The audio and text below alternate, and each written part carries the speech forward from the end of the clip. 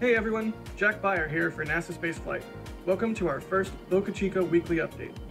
With so much going on at SpaceX's South Texas facilities, we wanted a better way for everyone to keep track of what's going on with Starship progress. So, we decided to do these weekly update videos in addition to our daily videos.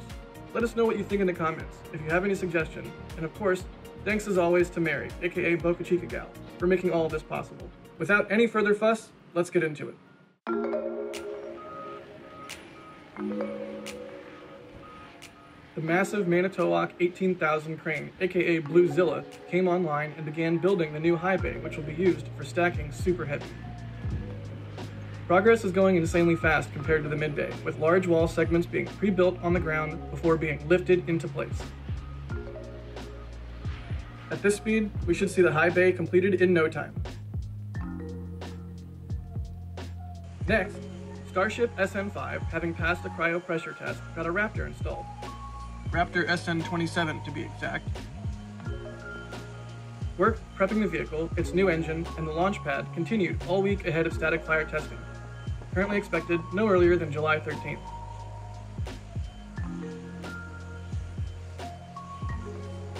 Just like SN4, SN5 has been fitted with a mass simulator, aka nose cube, to better simulate actual flight dynamics. We're expecting a single engine configuration for static fire testing, and if all goes well, an eventual 150 meter hop.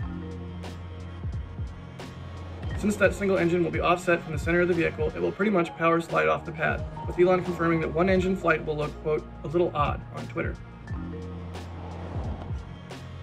New sections for the next Starship prototype have been moved into the mid-bay for stacking alongside SN6, we don't know if this tankage is still using 301 stainless steel or if it's transitioned to 304L, and we don't know what serial number has been assigned to it. We've seen 304L written on rings in the past, so it might be possible to figure out which type this is in the future if we get some good close-ups of the rings. Someone left the nose cone machine on. Dang it, Earl! And there are still three nose cones sitting around outside the fabrication tents. It's hard to say whether they're Pathfinder nose cones meant to practice manufacturing techniques or actual flight hardware, or what type of steel they're made out of. The newer nose cones look to be further along in the design process, with RCS thrusters and a few ports installed.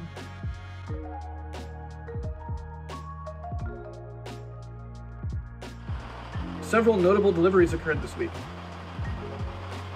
New tanks for the tank farm, some unknown metal parts a new food trailer.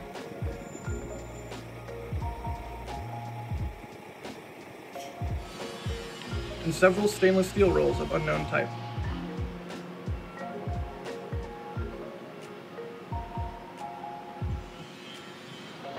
Mary spotted Zeus the Robodog up close for the first time, providing these photos and videos of it in the $29,000 inspection package it's fitted with.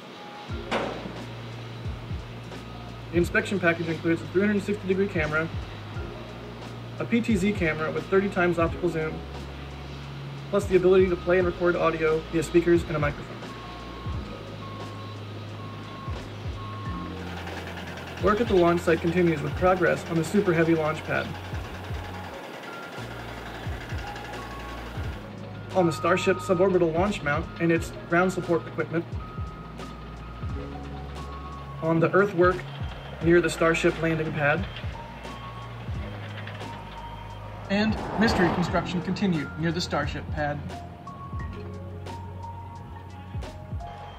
After hanging out at the launch site for weeks, SN3 was finally cut to pieces and hauled away.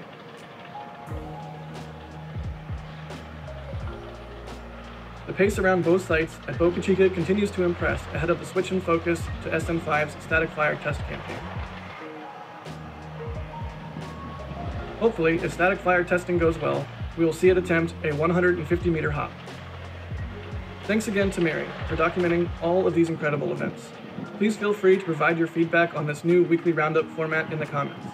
Remember to support the channel by subscribing, liking, and becoming a member to keep up with the daily videos from Boca Chica. Thanks for watching. Be excellent to each other.